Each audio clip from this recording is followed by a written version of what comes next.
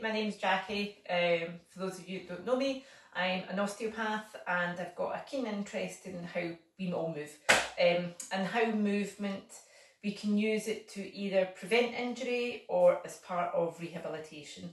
Certainly anybody that's worked with me in clinic knows that a big part of the treatment isn't just hands-on treatment but it's looking at body movement and trying to help people help things in their own body.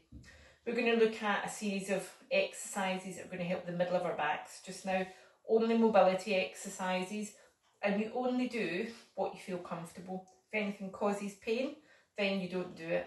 If you're compromised because of a shoulder problem or a knee problem that gives you pain, then you skip that part. So it's only if it makes it feel good. And these exercises should make your back love you. Um, everybody is doing something different just now. We're either sitting too much, working in a different environment, or working longer hours. So our backs need to move. And you can use these exercises as part of a, a routine or exercises you're already doing, or you can use them as standalone to do whenever you feel a bit stiff or you feel you have to move your back. Now the first lot of exercises are standing on your feet, so you don't need any equipment.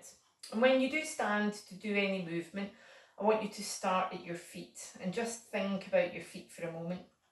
Um, I want you to think about your feet as tripods and the tripod really is the base of the big toe, the base of the little toe and your heel.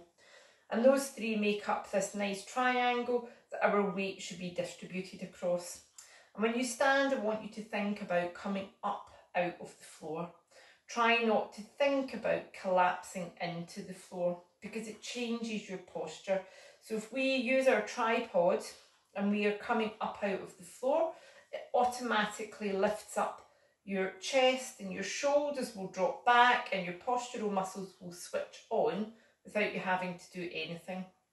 And when you're doing any movement work, it's just good to have a solid base to start from. So think about your feet. You don't have to be barefooted. Um, it's perfectly fine to do this work in trainers. Um, so you're going to stand feet about hip distance apart and your knees are relaxed. So I'm not locking my knees out, but also I'm not bending them. So they are just nice and soft and about hip distance apart. And we are concentrating, as I said, on this part of your back here. Anybody that's seen an osteopath in the past or another musculoskeletal practitioner even if you've went in with low back pain or a shoulder problem or a neck problem, you might have found that they've worked on the middle of your back. And it's quite often when that is stiff um, or not moving as well as it should, it causes problems elsewhere. So these exercises will benefit a wide range of problems. So standing hip distance apart, thinking about your tripod and coming up out of the ground to begin with. And all I'm going to get you to do is to bring your arms up to your side so that you make right angles with your elbows. And all I'm going to do is going to lift one arm up and as far over to the opposite side as I can and bring it back down. Same on the other side. Now, as we do this, what I'm not doing is I am not taking my hips out to the opposite side. I'm trying to leave my hips nice and square and have my spine do most of the side bending. That's brilliant. Just feels nice to lengthen through one side. Get your spine to move. Now you can do, you know, 8 to 10 repetitions each side or 30 seconds each side. It depends on what makes you feel comfortable. We'll just do a couple more. Good. Last one. Perfect. Standing in this position, just going to bring my arms, elbow soles are there about um, shoulder width apart out in front of me. And I'm going to take one arm out behind me and follow that with my head.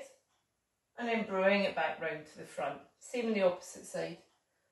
Now as I do this, again I'm leaving my hips behind. So a total body rotation would mean I was taking my hips with me and going further. But I want to concentrate the movement into the middle of my back. So I'm just leaving them behind just letting each side open as much as I can. When you do this, it opens up your chest as well.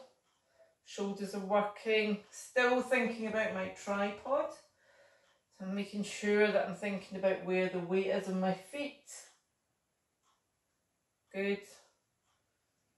Side to side. One more each side. Really taking that side back. You can hold it for as long as you feel comfortable. We are literally just mobilising today, so we're not trying to think so much just about stretching. So now I'm in this position, we're going to just take our hips out behind us. So all I'm doing is rocking my body weight back onto my heels and letting my bottom drop out behind. So it looks like this. But as I do it, I'm going to reach down and touch my opposite outside of the ankle.